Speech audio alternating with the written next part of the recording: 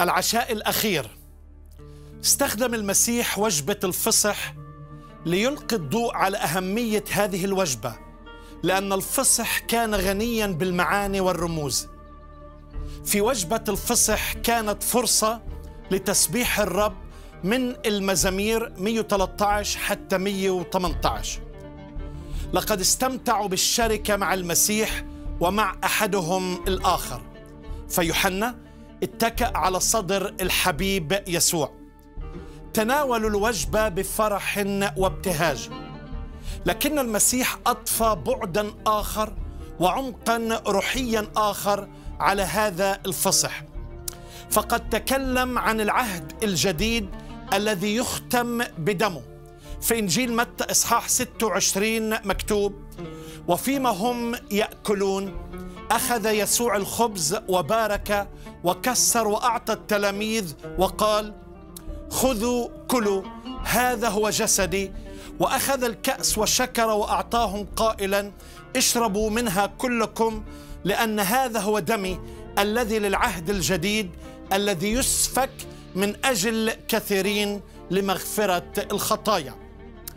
نرى الخبز الغير مختمر يرمز إلى جسد المسيح الكامل بلا خطية الذي يكسر من أجل الكثيرين والنبيذ الذي يرمز إلى دم المسفوك من أجل مغفرة الخطايا لأنه هو حمل الله الذي يرفع خطية العالم. وبدون سفك دم لا تحصل مغفرة للخطايا.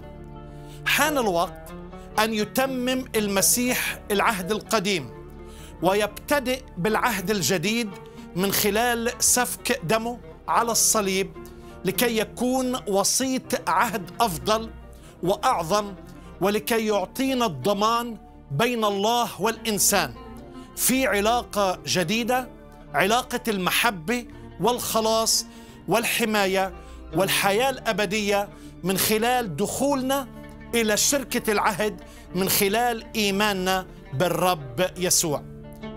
خلال هذا العشاء أعطى المسيح فريضة جديدة للكنيسة حين نجتمع كل أول أسبوع لنأخذ ونتناول من جسد الرب ونشرب من دمه نتذكر ما فعل المسيح لأجلنا.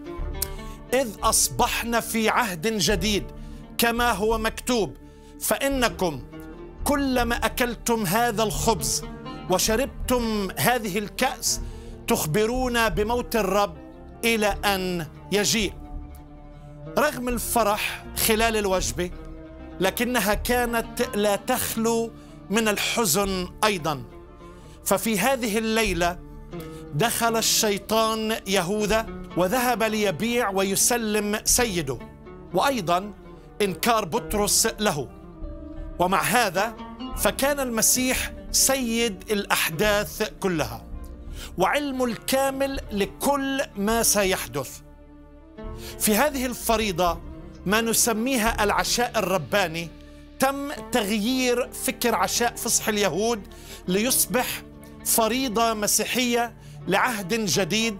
نتذكر موت المسيح الكفاري والبديل إذ قدم نفسه أضحية وبذل نفسه فدية عن كثيرين لننال غفران خطايانا. وأصبحت سر من أسرار الكنيسة نمارسها بشكل منتظم.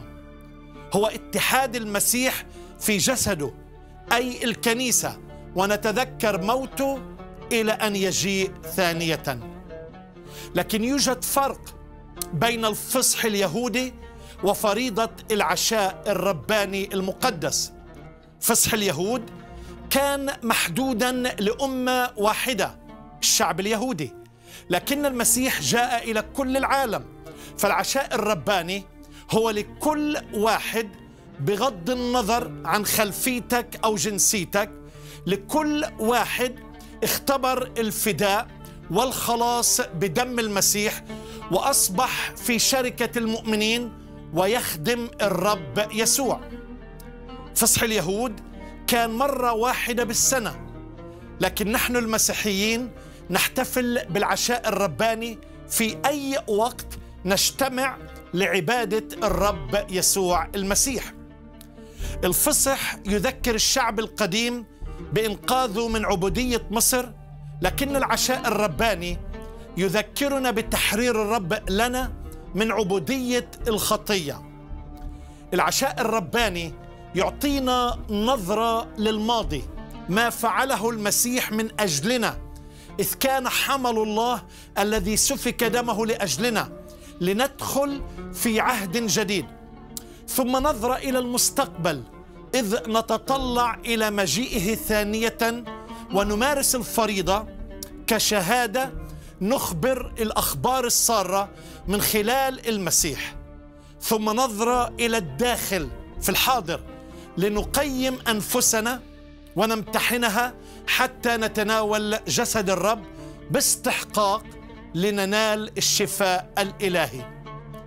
العشاء الرباني هو برهان للمؤمنين إذ نتذكر يسوع المسيح الحي في وسط اجتماعاتنا وهو دليل على المحبة الأخوية والوحدة بين المؤمنين لأنه إذا كنا منقسمين ويوجد تمزق بين المؤمنين فلا نستحق أن نأخذ من جسد الرب لئلا نأخذ دينونه أعظم. والعشاء الرباني هو تعبير عن الشركة المقدسة بين المؤمنين. وعندما نجتمع نتمتع ببركة الرب ونتذكر الرب ونعيد للرب. وإله السلام الذي أقام من الأموات راعي الخراف العظيم ربنا يسوع بدم العهد الأبدي ليكملكم في كل عمل صالح لتصنعوا مشيئته عاملا فيكم ما يرضي أمامه بيسوع المسيح الذي له المجد إلى أبد الآبدين. آمين.